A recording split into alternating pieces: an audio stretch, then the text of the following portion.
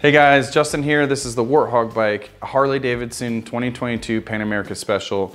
And on my bike, I have my favorite pannier set, which is the Mosko Moto 35 liter set. We also have the duffel here. This is their 40 liter duffel. These come in 25 liter. They also have an offset so that you can put a 25 liter on the side of the exhaust and a 35 on the other side if you don't want to be sticking out too far. Mosko make a ton of accessories, including an aux pouch, small storage pouches, and a plethora of other accessories. What I really love about Mosko is that these guys go out and they live and breathe the lifestyle. All this equipment is tried and true in the sense that they've gone out and used it and made refinements on all the equipment that they found was gonna be the most useful for going off-road and doing adventures like that. Another huge benefit to using Mosko is that if you do rip a bag or something like that, they have a crash discount so you can actually get your stuff replaced. When I first got the Harley Pan America, I got it with these soft bags, which are really nice. I also got the Jesse luggage hard cases and rack. And here's the downside to hard cases. When you're going off road, first of all, if you do go down, it's a higher likelihood that you might get pinned under a hard case and break something, including bones. Uh, also potentially break the cases when you're off road. So some people really like hard cases. I think, especially as an intermediate rider, that I'd prefer the soft bags. They're more forgiving. And if you do go down and get pinned, you're less likely to break something.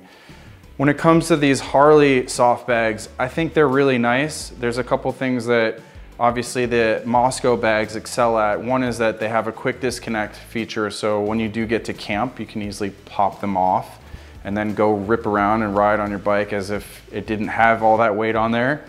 And the other thing is that they don't really have all the accessories that Mosko has. Aside from these bags looking like they were designed specifically for this bike, they also have, like I mentioned earlier, a quick disconnect feature, which is pretty critical when you get to camp or if you're wanting to ride without having all the extra weight on the bike. It's real easy. There's a tab on the side. You pull it to unlock it and they slide up and out. And then you can go and put it wherever you want at camp. It's not that the other racks don't have this feature. This is Jesse luggage, quick disconnect, and it's really nice also. It works with the Harley bags. The only downside is that you have to have the Jesse luggage rack in order for this to work. And as you can see here, this will pretty much work on any rack. They also have adapters so that it'll work on the offset rack. And another really nice feature about the Mosko ones is that it's adjustable. You can adjust it up and down and back and forth on the rack so that you can move your weight further back. You can have the bags higher or lower as you feel pleased. The Mosko bags have these dry bags built into it, and that's to keep your gear dry when you're doing water crossings, riding in the rain, or anything that's wet, but also has this strong exterior canvas, and that's what protects all your gear. That's what, these things are pretty, I wouldn't say indestructible, but they're pretty tough. And a couple other things here that I wanna point out. So we have the aux pouches. There's one on that side and one on this side. These are an add-on. And in this one, I have the DromLite two liter water bag. It's really cool because down here, there's a little access point and that's how I can refill my water bottles when I'm out in the wild. And I just have that extra water here. There's also the beaver tails on the side here.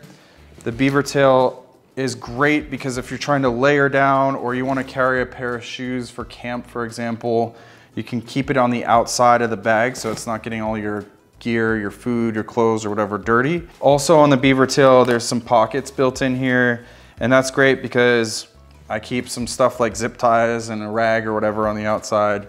On this side, I have my extra fuel canister as well as a water bottle. And there are attachments to be able to hold things like a hatchet. So when I go and do camping and I wanna bring my wood, I can chop down my wood so that's the Mosko panniers, the 35 liter in particular. If you guys like this video, make sure you like and subscribe. And if you have any questions, leave that down in the comments. If you have any suggestions for any other videos you'd like to see, also leave that in the comments. Thanks.